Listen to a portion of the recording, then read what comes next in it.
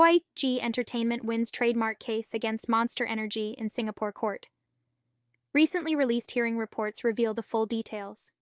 YG Entertainment debuted its newest group, Baby Monster, in November 2023 and recently ran into a setback when they filed to protect trademarks for Baby Monster and Baby Monsters in Singapore ahead of the group's debut.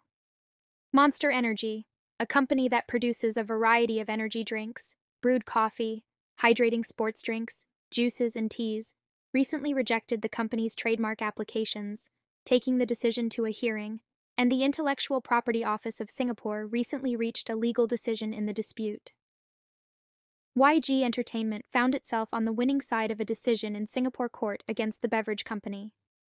During the hearing, IP adjudicator Ravindran Muthucumarasamy opened by revealing that Monster Energy has filed 52 notices of opposition with the Registrar of Trademarks to date, defaulting on filing or withdrawing their applications in over half of those cases. Monster Energy also recently attempted to reject the trademark application for Gentle Monster, the South Korean luxury eyewear brand that currently has two locations in Singapore. Monster Energy was also unsuccessful in its trademark opposition regarding the eyewear brand.